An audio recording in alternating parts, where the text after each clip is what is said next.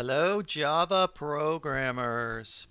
Today we will launch into a review in the form of a discussion of coding standards in Java. The slides are posted on Canvas in the Learning module, and I hope you have Eclipse open and you're ready to follow along with me on our journey. When you go to work, you will almost invariably be working with other developers and probably other developers from around the world with different expectations, experiences, cultures, backgrounds. Many of them will have ways of doing things, and many of them will expect you possibly to conform to their standards. The company may have a coding standard that's been published. It's a great opportunity for you to expand your experiences and learn more about how other people do things. I have seen in my career programming standards become a crusade where people are divided and people have arguments and disagreements about how to do things, I strongly recommend that you avoid that. It's generally not worth getting upset over. It's something that we do take seriously and we want to make our code the best code it can be and we have a lot of ownership in what we do. However, it should not divide us. And I'm not exaggerating. I've seen some bad situations. Therefore, take everybody's input with respect and think about how to fit in with the group. You may learn to do things in this class. You may have learned to do things in other classes. And sometimes you may have to unlearn or adjust those things because the environment you find yourself in is a little different. And that's okay. If we could summarize coding standards in one phrase, it would be clarity is king. I borrowed that from another colleague of mine at another college. I thought it was genius. Everything we do should have the underlying goal of being clear. And the clarity is important because we will come back and look at our code in the future, and other people will also look at our code. And we look at code for the purposes of modifying it or fixing bugs. Yes, we do have bugs in our code. And you will learn that the clearer it is to understand, the easier it is to fix. Therefore, as you go through your career and you write code, you will evolve and you'll get better at writing better code. It's an ongoing evolution, and ongoing improvement process that we all go through. Some things that we have touched on in our class, if you took Java 1 from me, of course, IT 1090. We talked about symbol names and we pretty much standardized on camel hump notation.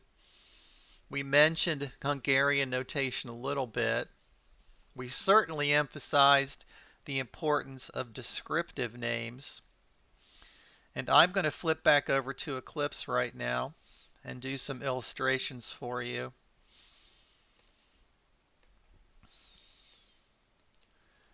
You may remember that we generally started out, or always I guess, by creating a Java project. There are numerous kinds of projects in Eclipse, but the one we always made was a Java project.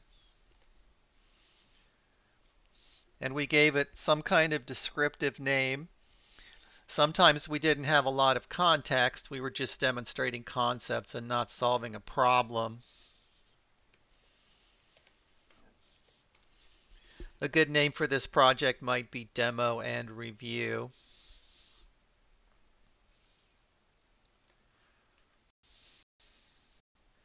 Nothing new yet. This should look very familiar.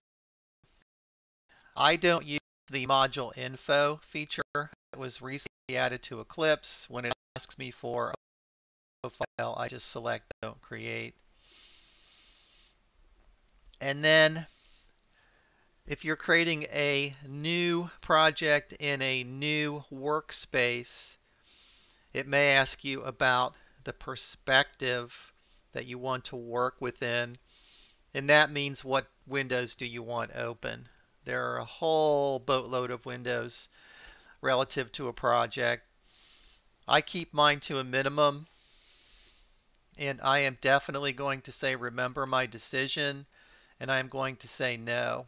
How you do this is completely up to you. The way your screen looks is a very personal issue. If you like to have lots of helpful windows open that you found to be useful to you, then by all means do that. I'm going to click no. I want a clean, mostly empty screen. And over time, things become important to me and I open them but I don't want them open at the outset if I don't need them. If you do want to open some of these windows that you've accidentally closed or you've learned about and that could be very helpful to you, you can go under Window and then under Show View, you can select from the list of known windows. One window we have to bring back quite often is Console. And I like my console at the bottom in its own little dock. Remember, if you drag these tabs around, you can dock them in different places. You can put it over on the left, you can put it over on the right, you can put it at the top, the bottom. Again, completely up to you. I like to have mine at the bottom. Over on the left, I like my Project Explorer. You may like it on the right. You may prefer it somewhere else. That's perfectly fine. And then as you write projects this semester, they will accumulate in the Project Explorer based on the workspace you are in. Remember, the workspace is a container that contains references to existing projects. By looking at this screen, you can see that the only project in this current workspace that I'm in is called Demo and Review that I just created. And you probably have all kinds of projects from the previous semester because you just took the default workspace each time you opened Eclipse, and that's fine too. I have several classes where I'm teaching Eclipse and I do Eclipse development outside of class. Therefore, I like to have different workspaces. But Again, do what's convenient for you. And remember that as you create a project, it puts it in that workspace. That doesn't mean it's locked in there. You can always import it into a different workspace. If you don't know where it is, you can right click on the project, select properties, and then in the resource property of the project, it will show you the folder location of that project. And my workspace is here. It's called In Class Work Spring 2022 and it is under another folder called Spring 2022 IT 2045C Java 2 Online. And that's the way I organize my work. I have a folder for each course that I teach, and then inside of that course, I have a workspace folder. Again, something that you develop a feel for over time. And probably when you do land that job and go to work, they will have you rethink that architecture completely anyway. Okay, I have a project. It doesn't have any code in it yet. And we were discussing symbol names. In order to create some symbol names and talk about them, I need a class. And you will recall that from our previous time together, we select new and then we select class.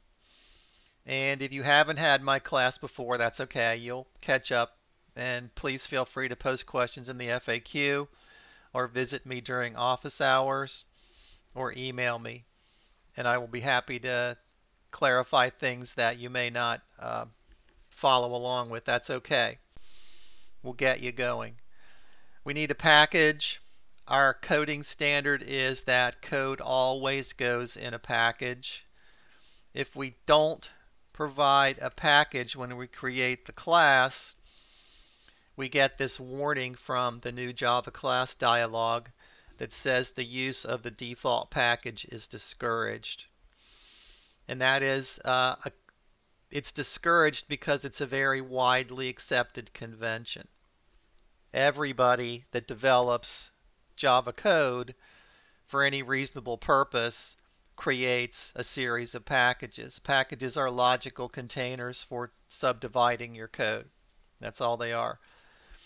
We could just as easily throw thousands and thousands of class files into one package. However, it would make management that much more difficult. Therefore, by creating packages judiciously and sticking to package names and sticking to locations of, of things consistently, we make our code easier to navigate and deal with. Just to demonstrate what happens, I am going to create this class without a package, and then I will go back in and fix that. It's not difficult to fix. We, last semester, always, and will continue to do so right now, created a public static void main method that is our entry point into our project. That is where it begins to run. The project may have many, many classes in it, but Eclipse needs to know which one to run first and which method to run first. That is, that is our main. That's how Java works. Again, though, I'm going to leave the package blank. I will click Finish. I have a class called main, and that's great. It has an empty main method, and that's wonderful. I delete this to do comment here. It just annoys me. But I do have a problem. It's not a functional problem, it's just an operational problem in that I put this class into the default package. You can see that it's in parentheses, meaning that there really is no package. It's that class is just stuck inside the project without any logical container. And let me show you real quickly. If I go to the properties for the project again, and I open up the folder where this project resides, if I click on Show in System Explorer in the Project Properties dialog, there's my project residing in the workspace. The name of the folder containing the project is the same as the name of the project. How convenient. If I open that folder, there's an SRC folder, and that is also reflected in the Project Explorer on the left of Eclipse. You can see those two things are the same. If I open the SRC folder, which stands for source or source code, there is my main.java class that I just created. It looks fine. If you've got a lot of experience with doing this, though, you recognize that it is not in a package simply because it's sitting in the SRC folder. All right, I'm going to leave this folder open. We'll come back and look at it in a moment. Back to Eclipse again. I'm going to close this properties dialog and put me back into Eclipse proper. And then I'm going to suddenly realize that, oh no, this main.java file is not in an explicit package. And I have a minor panic and I get up and walk around and eat some M&Ms and I come back and I realize that maybe I can just change the name of the package referenced in this file and have it all magically get better because I'm not really sure what to do at this point. What I know that I need, but I'm not sure how to get there, is to tell Eclipse that this class resides in a package. And then I think back to Java 1 and I maybe do a little bit of searching online. and I realize that I need a package statement at the top of this module.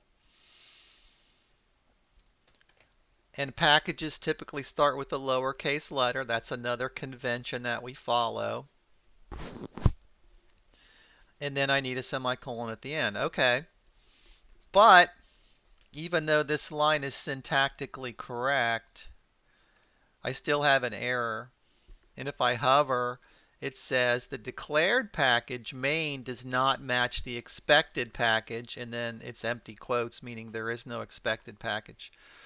So I have a problem in that this chunk of code, this module, is telling Eclipse and telling Java that it lives in a package, but the structure of the project does not bear that out. There's a mismatch between main.java and the location of main.java in the project. Eclipse, though, remember Eclipse is pretty smart about some things. Eclipse can tell us or offer us a couple of fixes. It can move this module into that package, thus making the error go away, or it can take out the package declaration from this module. It's saying, hey, what do you want me to do? Put this, put this file in the right place or edit the file so that it matches where it really is right now. And I know where it is right now is not where I want it to be. That means that second option is not so great. But the first option might help me out. Let's take the first option, move main.java to package main. Look what happens over in the Project Explorer. Eclipse automatically created a, a package and put our module into that package. It moved it for us. And you can see the error is now gone in the source code. And I left that window open. If I go back to the, uh, the project uh, Windows Explorer, sorry, and I look, the structure of my project has changed now. In the SRC folder, there is a pro, uh, folder called main, and inside main, voila, is main.java, that class file that we created. And that gives you a really good introduction to this commonality of the directory structure where your project resides and the project explorer display. I mean, they mirror each other. If you see the package called main in the project explorer, you can rest assured there is a folder called main in the project on your disk.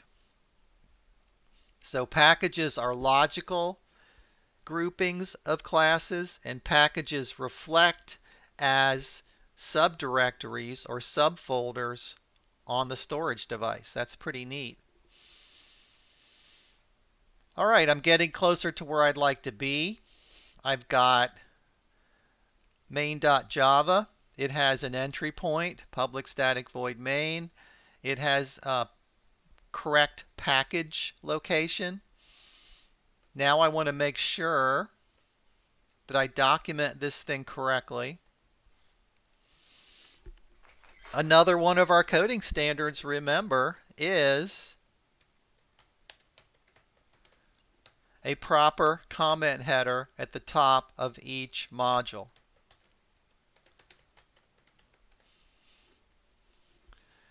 What we want to see there is your name, your email address, the course, the semester, and the year. We want to see the assignment number. We want to see a description of what this module is and what the assignment is. We want to see citations.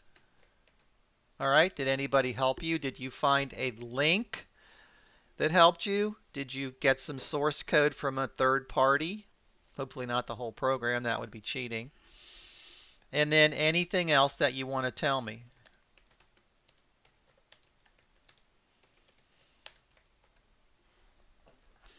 Now, we can all agree that when you start a job somewhere, you will not be using this style of commenting, okay?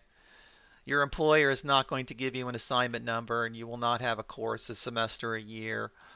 You will certainly have an email address and hopefully you'll still have a name. You won't be a faceless cog in a machine.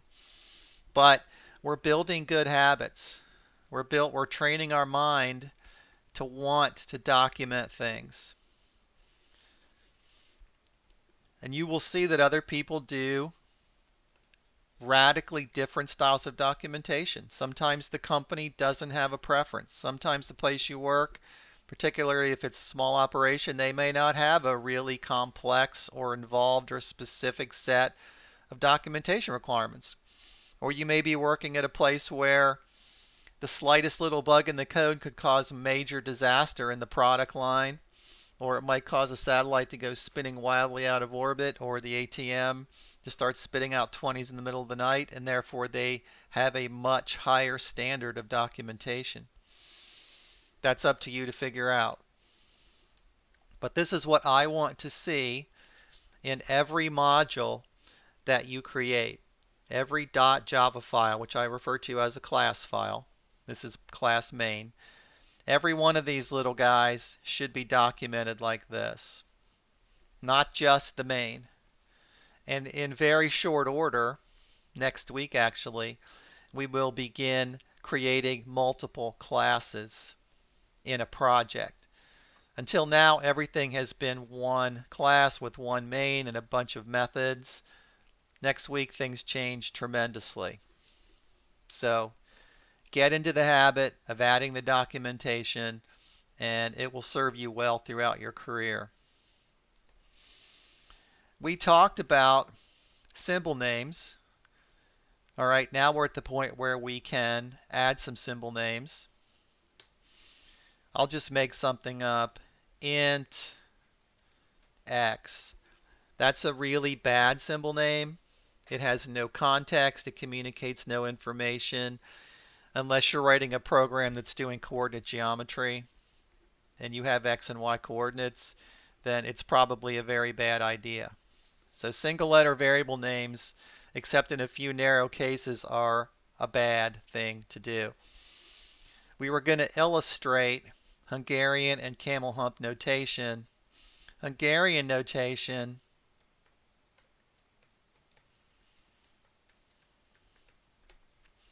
dictates, whoops, that the prefix to the variable name is the data type of that variable. In this case, since I'm declaring an integer, the prefix is int. And that works out pretty well in a narrow, narrow, narrow environment where you don't have a lot of data types, but that hardly ever happens in practice. We find out very quickly that Hungarian notation becomes awkward because we just don't have enough prefixes that are meaningful. Therefore, you don't see this as much anymore. You don't see Hungarian notation as much. What we do see eh, is what we call camel humped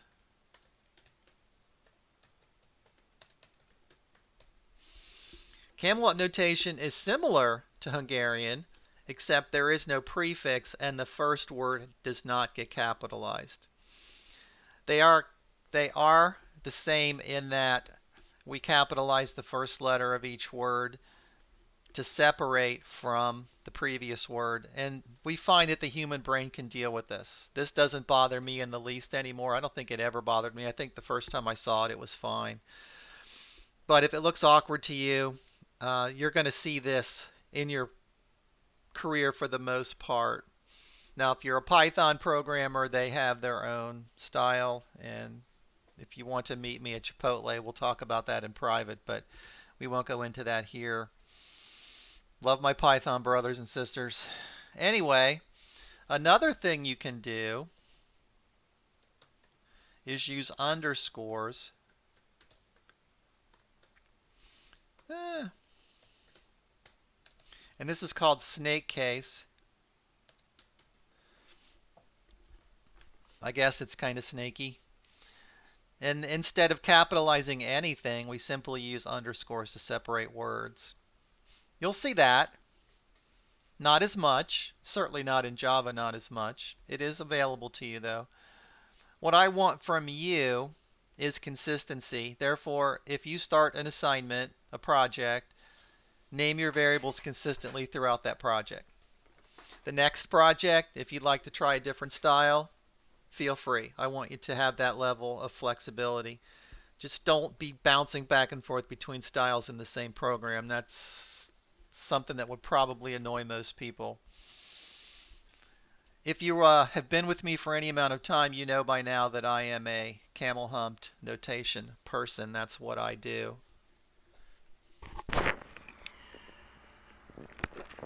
But I'll tell you, when I started my career, and it wasn't in Java, this is how we name things. We use snake case.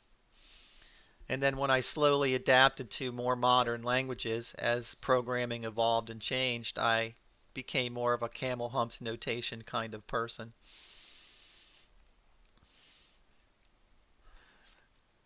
Another coding standard that you may want to think about is whether we should use switch statements or whether we should do everything else. Everything with ifs and elses, not a big deal. I certainly use switches all the time.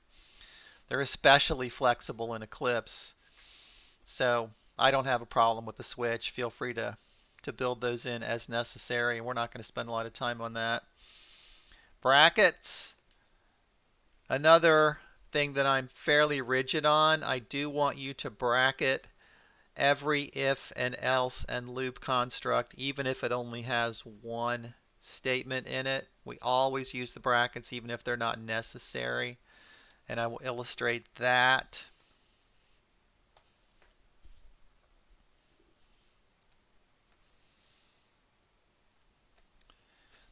Let's do something simple. Int, uh, let's just do number of agents equals 42. We just need a little bit of context here. If number of agents equal equal 42 uh, system dot out dot print line hi not a lot of functionality being demonstrated here this is uh, syntactically correct it looks fine but it is not logically correct. It does not conform to our coding standard. Our coding standard dictates that we use enclosing braces even if there's only one statement to be enclosed. This is what we want it to look like. The reason for this is twofold. One is consistently, so every if statement looks the same. And two is if we came back later and put in another statement Uh,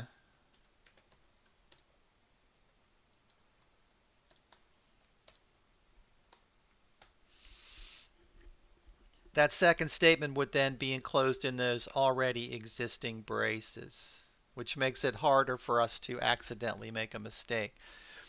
Now, if I didn't have the braces, I could still come back and add that second statement but now it is no longer part of that if clause. It's off by itself, which means it's a completely separate result when we execute the program. Even though it's indented, it's not part of the if. Would this be a Python program, then indenting would make that part of the if because Python does not use braces. It uses indenting to demonstrate uh, constructs, but we're not in Python, so I've already mentioned Python too many times in this video. Always use the braces. Just get into the habit of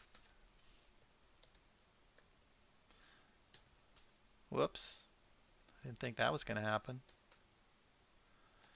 if number of agents equal equal 43 just get into the habit of opening the braces and then immediately starting to enter your code. Before you do anything else, you have braces. That makes your life easier. That makes the opportunity for an error much lower. And it just builds consistency into your code.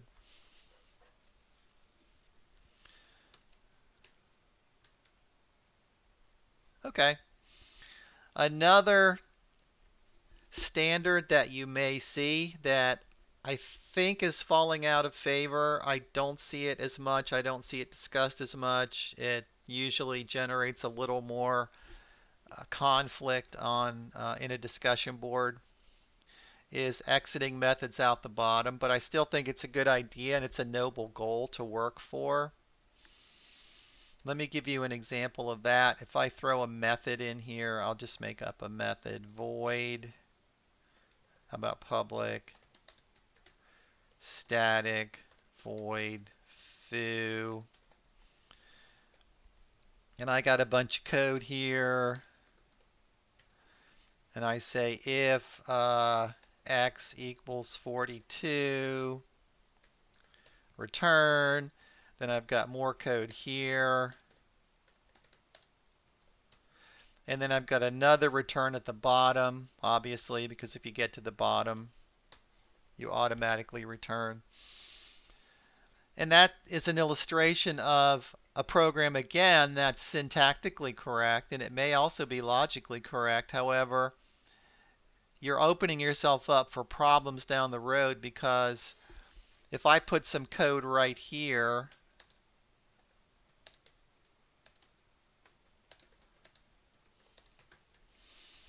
This code that I add at a later date, I come back and I realize that there's a bug or an improvement that needs to be made. And it might not even be my code. However, if I add that code, it's not going to run if the method exited at line 32. I may be putting in code that I think is going to run, but in reality it's not going to run. And that's why multiple return statements might not be a good idea.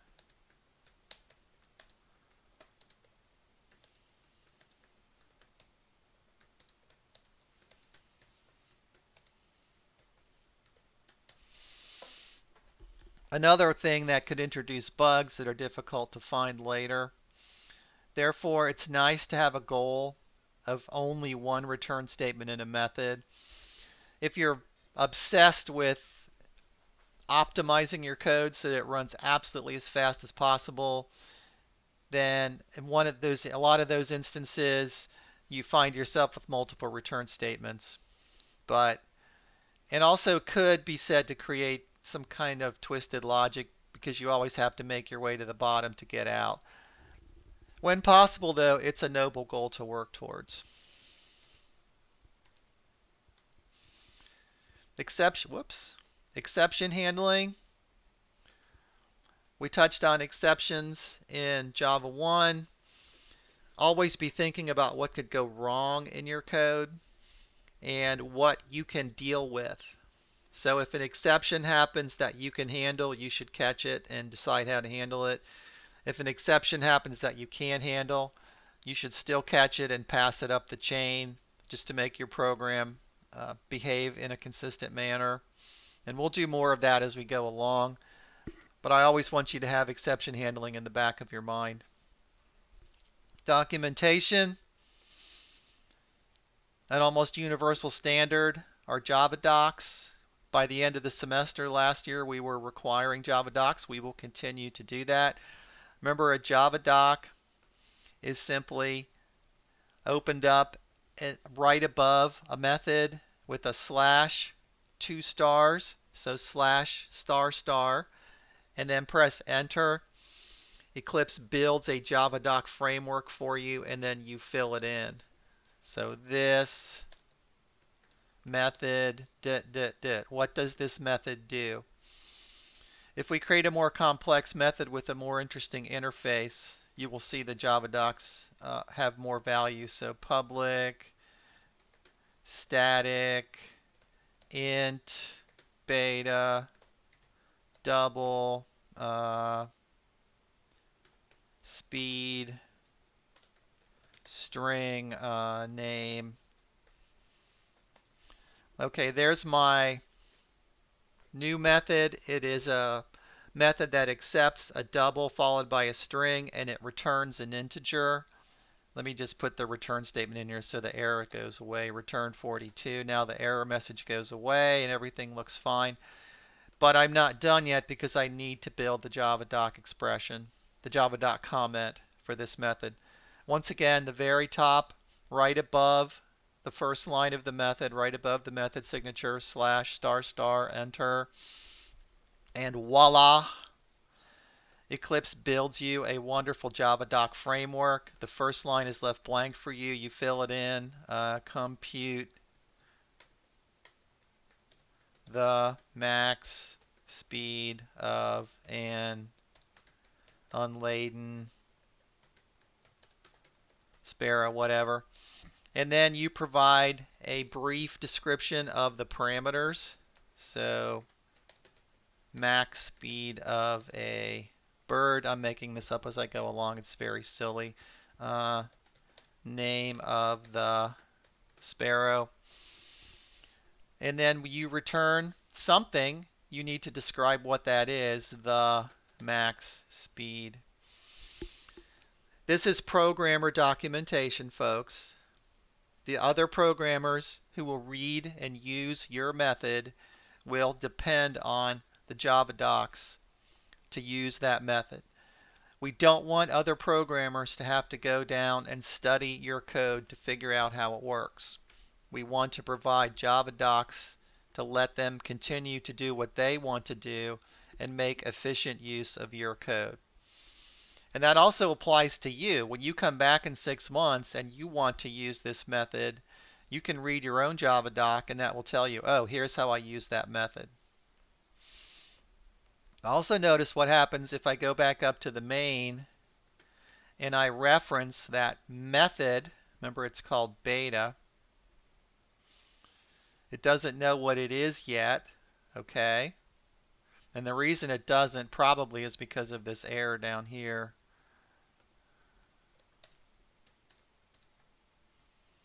Let's see if I can make that work.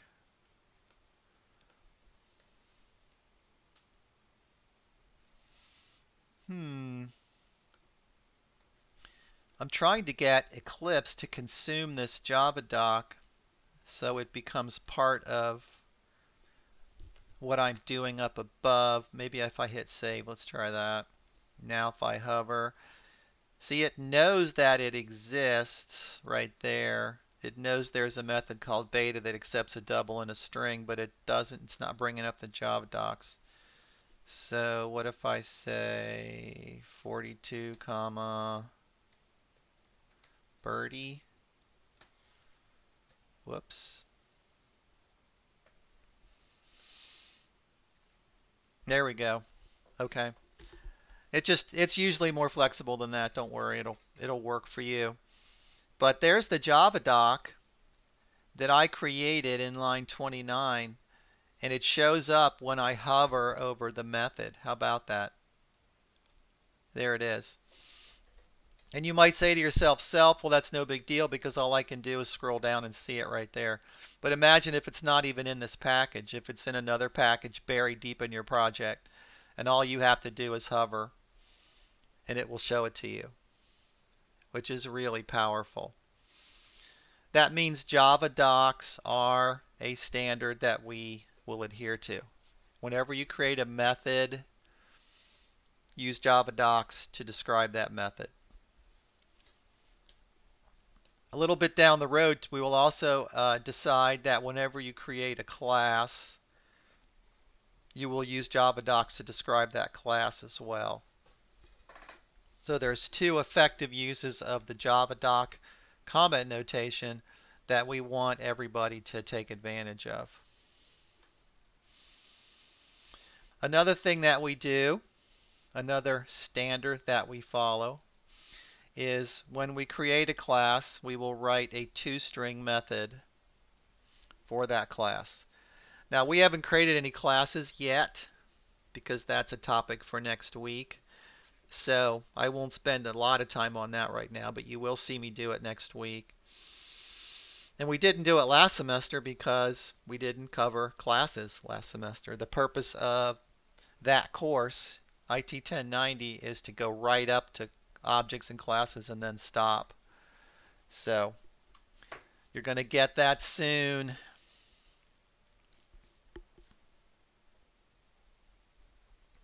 When we think about how we do things in the real world and also how we will do things in this class, very often you will be given a task such as design and implement a class that dot dot dot does something.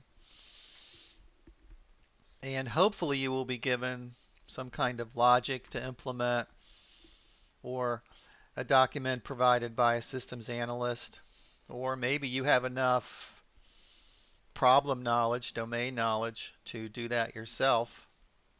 A lot of times there will be someone working with you who knows how the system is supposed to work and they will communicate that to you in the form of a design document or maybe something a little more casual.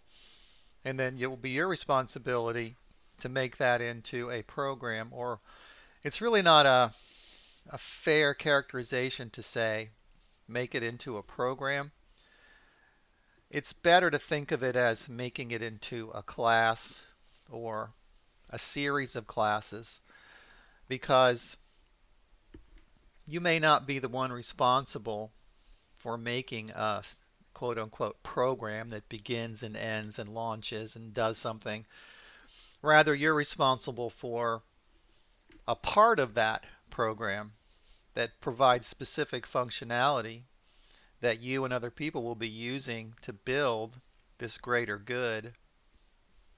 So in this class, I'm going to make it a point to say create a class that does something, or modify a class that already exists to do something else. And that's how we can think about the problems that we will address.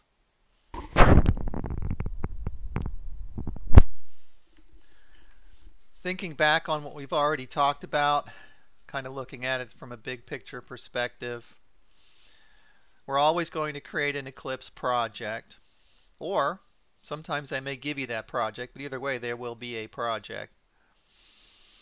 That project will have one or more packages. As we get more involved in our work and we learn more about how projects go together, we will add packages. There will be an entry point. Now, this is somewhat of a departure from a real world scenario in that you may never see an entry point. I mean, you're going to be given jobs to do that involve modifying classes or creating classes. And somewhere in another part of the world, in a different time zone, more developers are using your classes to build a program, a project that accomplishes something. But in our world, that wouldn't make a lot of sense because then all you'd be allowed to do is write code and turn it into me without testing it. Therefore, you will need an entry point. If you refer back to what I've already done in this video, I created a main class and in that class I put in public static void main as our entry point. That's our, our method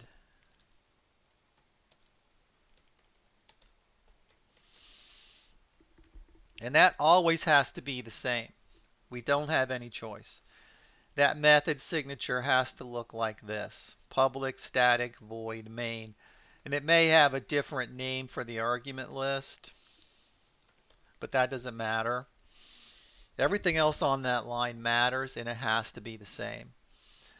If it's not, then your project simply will not run because Java doesn't know where to start. It doesn't know where the entry point is.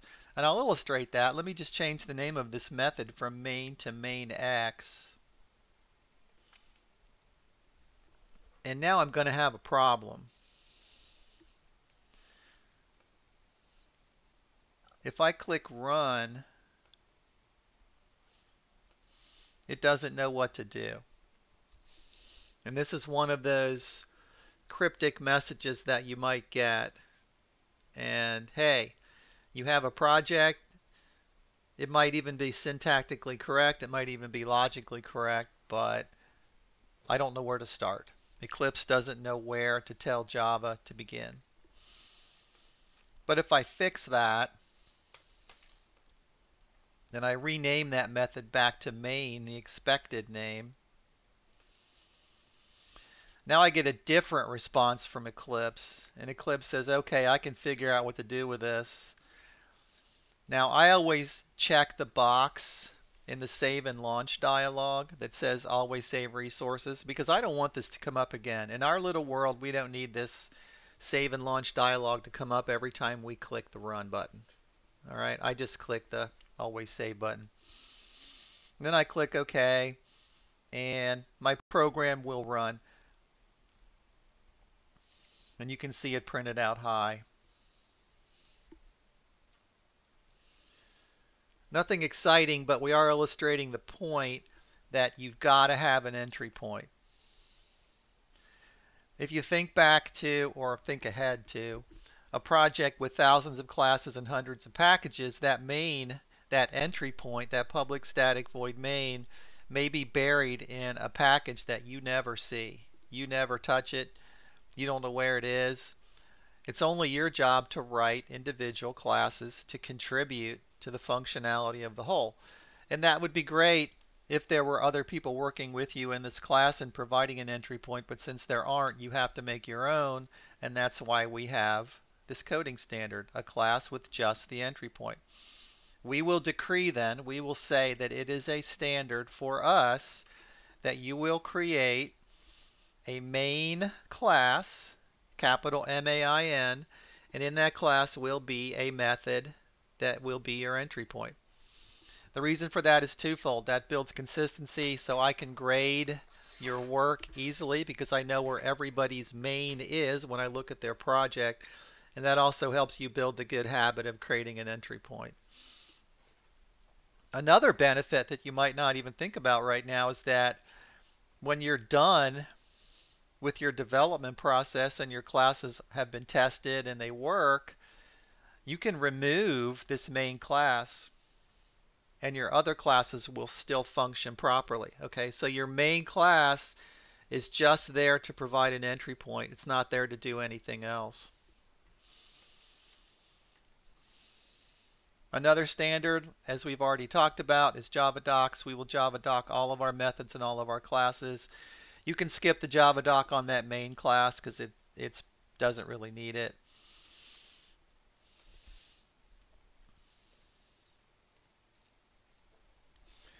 What I would like you to do in this class is when you get an assignment, start a new project, you can certainly drag in work from other projects that you've done. I want you to do that. I want you to be smart enough and conscientious enough and aware enough to recognize that, hey, I wrote this code already.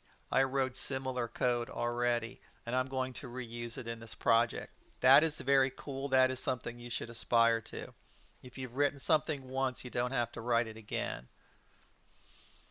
Reuse your code. Copy it into the new project and take off from there. You may have to modify it a little, but you've still saved yourself a lot of time. Or if it's written perfectly, you just plug it in and go. Either way is terrific.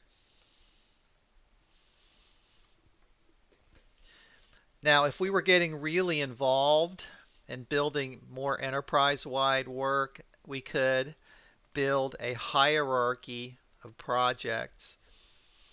I'm sorry, packages. And here is a package hierarchy that is conceivable. And it reads from left to right, top to bottom.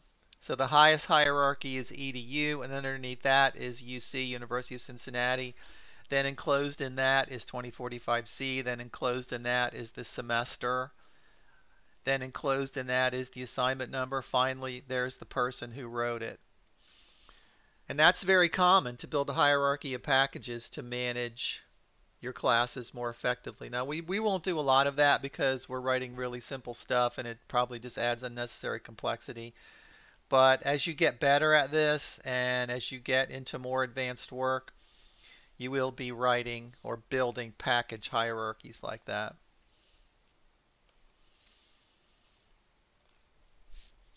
I said a moment ago, and here it is on the slide, make your entry point class Call the class main with a capital M. Put your stat, public static void method in there. That way I know where to find it, you know where to find it, everybody else knows where to find it. And you can get rid of it when you no longer need it without affecting all of the other classes that you worked so hard on. What should the main do? Okay, we know that that main class and that main method provide your entry point which is invaluable and crucial. But what else should it do? Well, it may have to instantiate other objects of other classes and invoke methods that belong to those classes. Okay? So we haven't talked about that yet, but we will. So the main kind of sets up the operating environment and kicks everything off and gets all of your code rolling. The main should be able to go away, disappear, vanish without make without breaking any of the other classes. They should all still work. And again, that's because somebody is going to take your class that you worked so hard on and make it part of their project. But they're not going to want your main because they already have one. Therefore, your main should be in a separate class all by itself and not have any bearing on the functionality of everything else that you did. And then something else that the main could do is spit something out so we can read it. Okay? Display something. Hey, here's what I did, here's the results I got, and here's whether it's right or wrong. And that may be something that is extremely useful Usually it is. But it's also something that we can rip out and throw away because it doesn't affect the functionality of all the other classes that you wrote.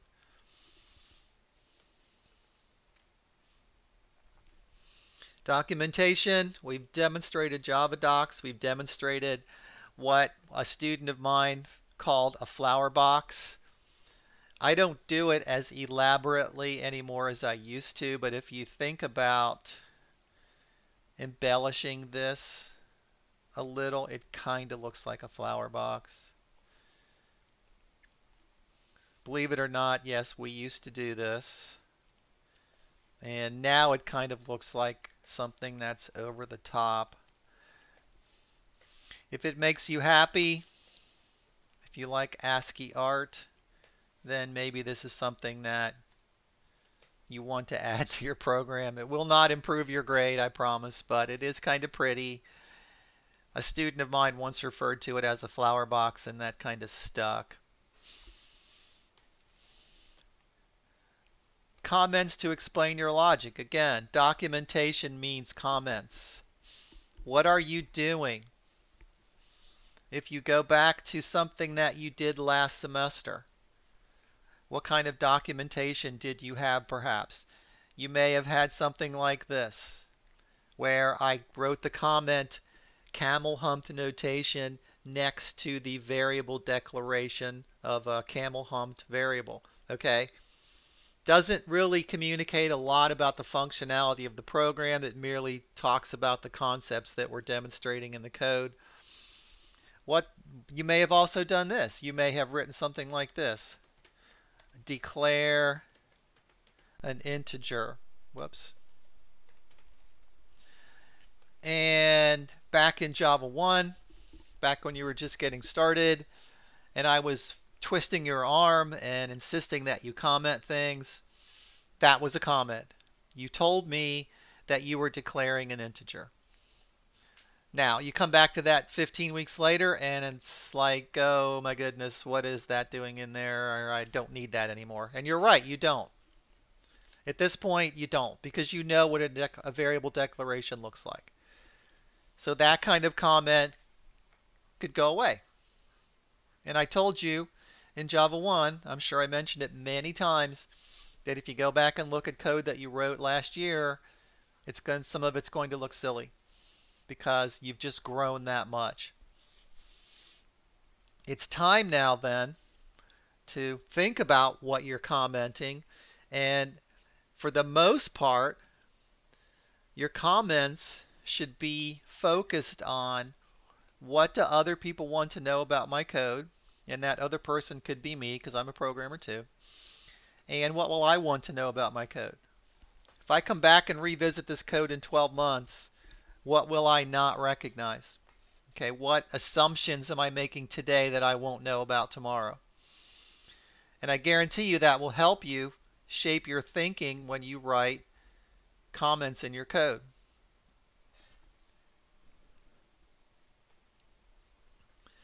And even as you've evolved from one semester to another, you will continue to evolve. So do the best you can. Show me that you can document. I'm not grading you on the quality of your documentation. I'm grading you on the attempt to document. You just need to do it to get better at it.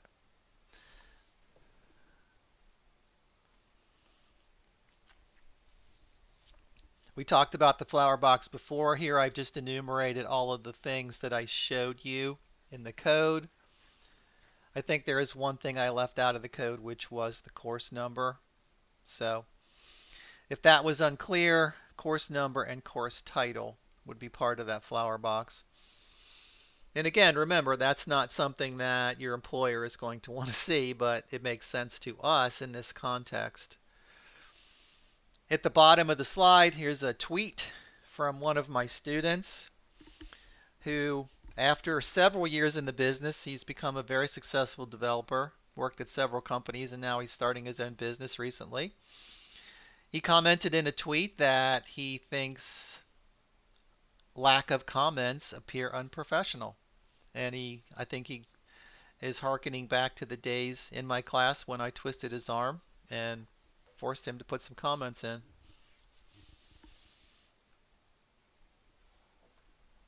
Now, we're going to get better and we're going to expand greatly on this slide.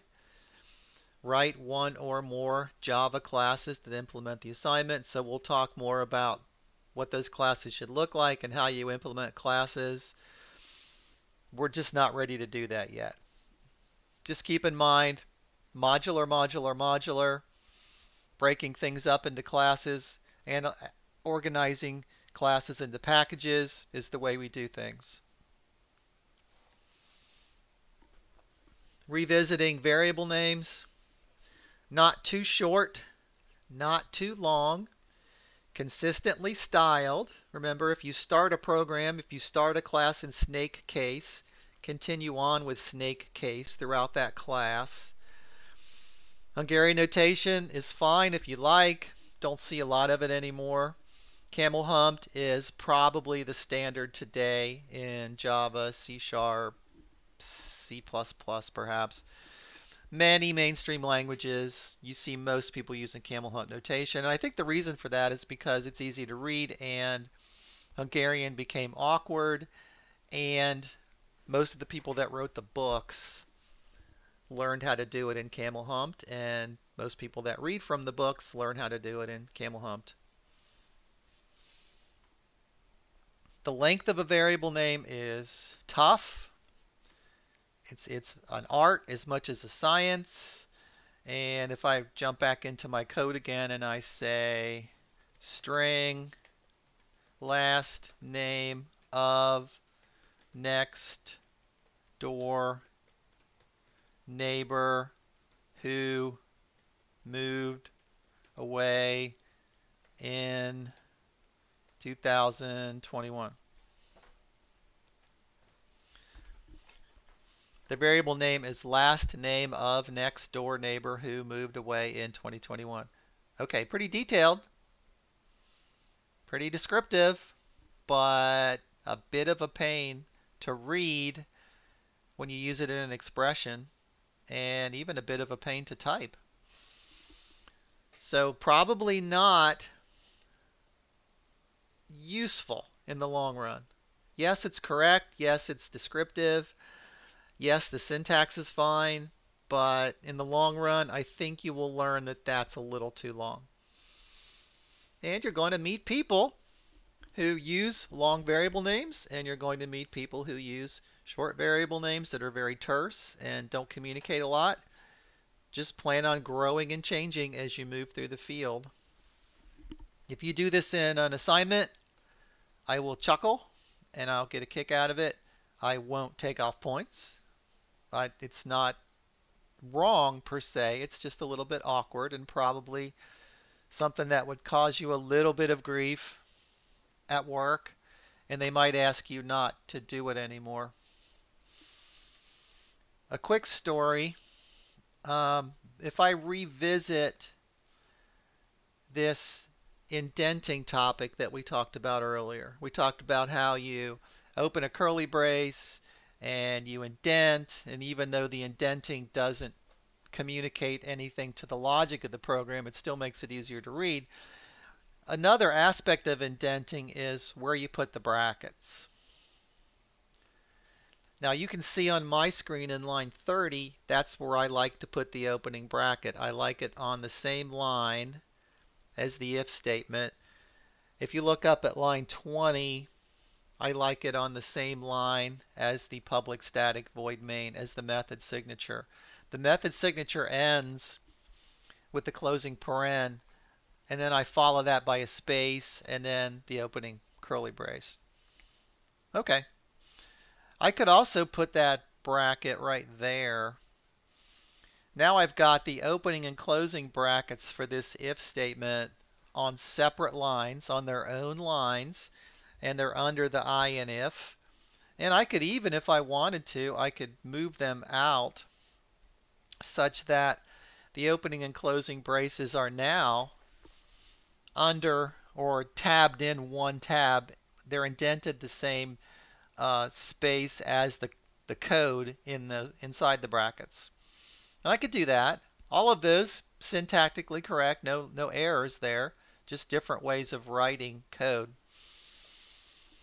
And you're going to find people that do all kinds of different ways of locating their braces commonly one tab, okay? One tab is the indenting rule each time you open a curly brace. That's the way most people work. Now in Eclipse, one tab is one, well, you can't see it, but it's four spaces. By default, then, an indenting uh, an indenting code inside of a curly brace is indented one tab, which expands to four spaces. And you may find people who indent one space or two spaces or five spaces. I mean, there's just different people do things different ways.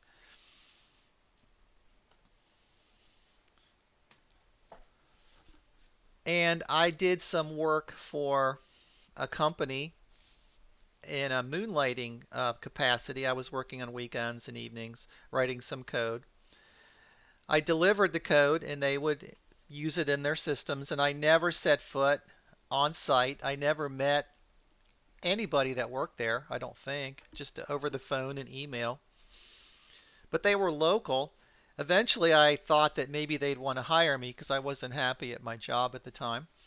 I reached out to them and said, Are you willing to hire me because you know that I can do your I, you know that I can do the work because I've been writing code for you for quite a while.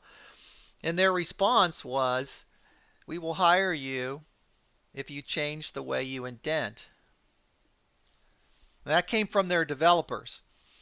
What had happened was that the code that I delivered was fine, it just didn't look like their code, which kind of drove them nuts. And I suspect, knowing them, I got to know them because I did go to work there that they went in and reformatted all of my code after I delivered it. But they were willing to hire me. They were happy with my work. They just wanted me to indent the same way they did. And I think my first thought was, heck yeah, I don't care how you want me to indent, just hire me. And I think my second thought was, why didn't you tell me this? Each time I delivered product to you, I could have changed my style. That's not a problem. So, yeah, there's different styles out there. And I think getting along and being a productive member of the group is more important than picking which hill you'd like to die on, and certainly where you put your brackets is not a hill to die on. At the same time, I do expect you to follow my standards in this course because you're just coming up the curve and I think my standards are reasonable and I want everybody's code to look the same. Consistency. We very, very often have to abbreviate. They're just simply, as you saw a moment ago, there is simply too much complexity added if we start using very, very long variable names.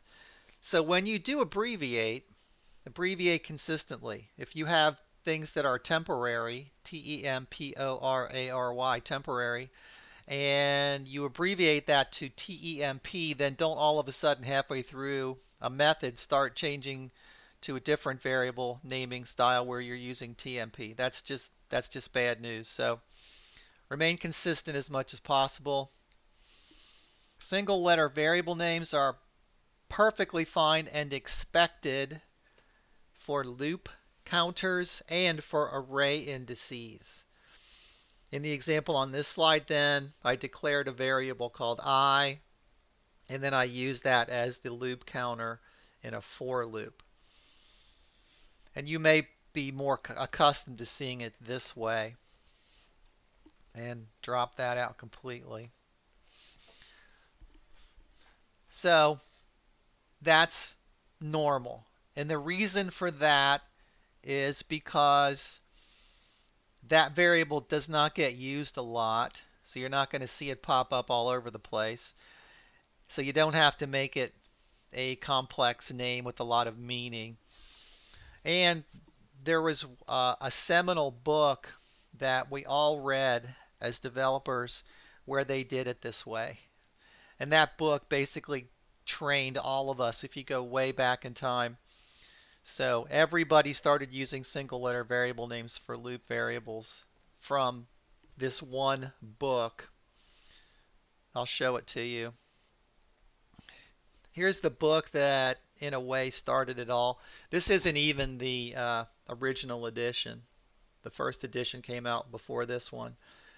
But this book taught everybody how to program in C this book used single letter variable names for loop counters, and there were probably books before that that did it as well, but the C programming language book influenced a whole generation and even generations after that of authors and programmers, and we all ended up using single letter variable names.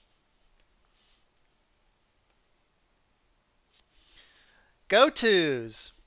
Well, in C Sharp, there is a go-to. In Java, there is no go-to. So you're probably wondering what is a go-to because if the only language you've learned is Java, you have never been exposed to a go-to statement. Don't worry about it. C++ has it, C Sharp has it, C has it, many languages has it, have it, but Java left it out, and they left it out for a reason because it creates what is called spaghetti code. Very hard to read, very hard to maintain. Often bugs just slip by because the program is so poorly written. Therefore, the Java developers, the Java inventors, decided no go-to. And I'm happy with that. You don't need it. Java has certainly not suffered because of the lack of a go-to. And when you come back for contemporary programming or a C Sharp course next year, you will learn that there is a go-to. If you take the course from me, you will learn not to use it. I'll talk more about it. And you may take it from another professor who says it's okay, go right ahead and use it. Different opinions. Exceptions, again, I touched on those earlier and we will fold those into our discussion as we go along. Your general mindset, though, is if something goes wrong, can I handle it in my code? Or do I pass it up the chain and let somebody else handle it? That's the general mindset of exceptions. The syntax you should understand from last semester. The theory and practice behind it we will build in as we go. Coding philosophy. Code is written once and read many times. You write it. If it doesn't work, you read it again and try to fix it. When it finally does work, you commit it to a repository. Other developers make use of it. Other developers modify it, extend it, add to it, add it to other projects. Therefore, just because it makes sense to you on the day you write it doesn't mean it's going to make sense to somebody else tomorrow or the next day. Therefore, always have that person in mind. Always think about that next developer. That next developer may be you.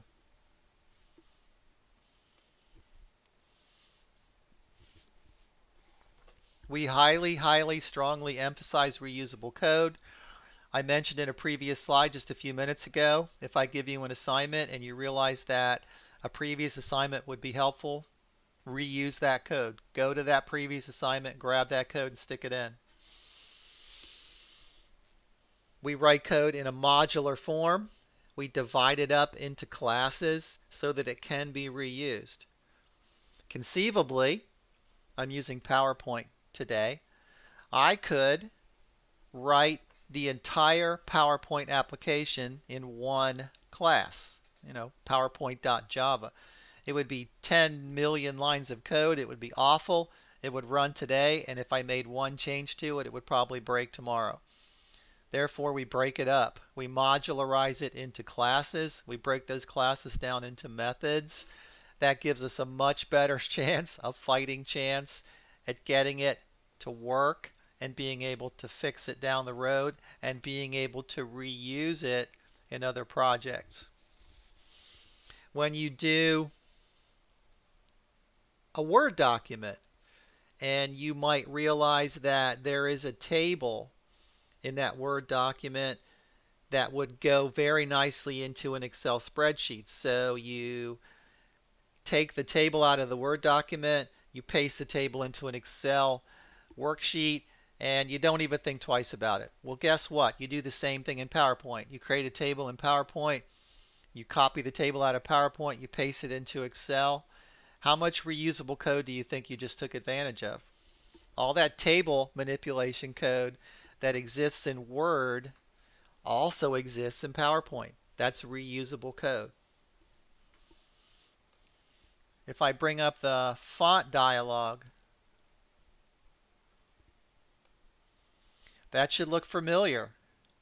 The font dialog in PowerPoint is almost identical to the font dialog in Word and the font dialog in Excel. That's reusable code. That's a goal for us. We're proud of ourselves when we can take something that we wrote and use it again and again and again in other projects. That makes us more valuable to our employer and it improves our job security and job satisfaction dramatically. The main, we talked about the concept of writing a public static void main and then being able to rip that thing out and have all of the other classes still work properly. And here are the things that a main should do. We'll spend more time on this next week as well. So don't worry too much about it right now. But again, all of these things that the main does are expendable. I can take the main completely away and all of the other classes that I worked so hard to create will still do what they're supposed to do. They'll need a new main, they'll need somebody else to provide a main, but they will still work. Here's an excellent book for you to consider. Algorithms plus data structures equals programs. One of my favorite programming books. This is written by one of the most famous computer scientists who invented a couple very successful programming languages. It's not written towards Java, it's written towards the theory of programming, why we do what we do. and it will make you a much better programmer because it helps you think about what is a loop and what is a method and why do we create programs the way we create them independent of some language. You're not worried about where the braces go and you're not worried about how many bits are in an integer. You're just thinking about the general philosophy and theory of programming and that will help you tremendously with the big picture of your job. So highly recommended. You can see that uh, I get a big kick out of this every time I show it to students. A hardcover version is $30. A paperback is $135. Uh, wide discrepancy there. And the price changes wildly on this book. Uh, the Amazon book bots have a very tough time with this book, stabilizing the prices. This book is not required for the course, but it is recommended if you plan to be in the field of software development or any related field.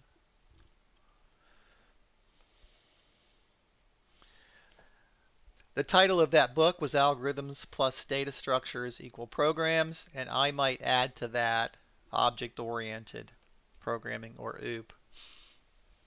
So an algorithm is how to do something, a recipe, a data structure is how are we going to store the information processed by that algorithm. Syntax is where do the braces go and where do the parentheses go, and that's specific to every language. And then most of the time, most software developers are going to be dealing with an object-oriented programming or OOP language. Java is OOP. Now you may not be acutely aware that Java is OOP because we studiously avoided all the OOP stuff last semester. We didn't talk about it if we didn't have to. But now we are, and everything you learn about OOP will be common to other OOP languages. Inheritance, polymorphism, encapsulation, data hiding, all the principles of OOP are common to C Sharp, C++, even Python. So if the book were to be rewritten today, maybe they would add a couple more uh, pluses to the title. That's just me being uh, being nosy. I went. Uh, I thought about programming a little bit. I've taught compilers before, and there's a lot of really interesting theory that goes into categorizing a programming language, figuring out how it should do what it does, how it should manage memory, how it should call methods, whether or not it should be object oriented, should it be procedural, should it be imperative. But if I try to break it down into very broad categories, this is what I come up with. If I if I think about algorithms, there are algorithms to sort, search, solve, convert, control, and certainly there are more than that, but I tried to come up with broad categories of things that we do in a program. We search for things, we sort things, we solve problems, we compute new solutions, we convert from one format to another, we turn a device on and off. Maybe monitor would go in here. Maybe monitor is part of control, I don't know. Data structures, there aren't really that many when you get right down to it. There we store things as numbers, we store things as strings, we store arrays of things. If numbers and strings aren't appropriate, we just break it down and we organize according to bits, which we call binary. Sometimes we use the term blob binary large object. That would be a, uh, a video, a, a song, a JPEG. Those things aren't organized in strings and numbers, they're organized into just streams of bits for the most part. And then we take all of those broad categories and we create hybrid or composite data types, which we will call classes, and you will see more about that next week. And then programs have syntax. Okay, whatever language you learn, You've got to figure out where the braces go. You've got to figure out if there's a main. You've got to figure out how to create a project or a package or a namespace or a method or a function. So every language has its own syntax. Thankfully, though, if you learn a popular language, you probably learned a lot of another popular language. I guaranteed you if I showed you some C Sharp right now or some C++, you would be able to read a lot of it because those languages are very similar to Java. There are common constructs across many common languages. And then finally, in the fourth quadrant, there is OOP. And OOP is a programming paradigm where we break up things in our program, we model things, and we call them classes. A class is a model of something in the real world. It has properties and behavior, and when we instantiate that class, when we make an instance of that class, we call that an object, and that becomes a variable in our program. So this is the way I kind of view programming from a very high level. You need to know a little bit about all of this to be an effective developer. And even more philosophical, sometimes I get bored at night and I think about categorizing things. Why do we write code? I tried to come up with broad categories of why we do what we do. One category is to entertain. So we write a video game. Sometimes we provide decision support. We have to write a report generator. We have to sort data and arrange data and investigate data. So an end user can look at that data and decide whether to order more size 10 New Balance Triple E shoes or not. Sometimes we need to control things. Very, very important category these days. Your car, your refrigerator, your coffee maker, the ATM on the corner, your cell phone. Everything interfaces with devices. Therefore, we need software to monitor and control those devices. And then finally, we write code that will never see the light of day outside of the purpose of demonstrating competence. So I write a program and I give it to my teacher and they give me a grade and that just proves that I know what I'm talking about. And I think these are four broad categories that probably encompass every kind of programming that there is. If there's anything I left out of this, please let me know. Do I need to add a fifth category? Please let me know. This is a list I'm very interested in from an education standpoint, and I'd be I would welcome your contribution to it. Thank you very much, and I look forward to talking to you next time.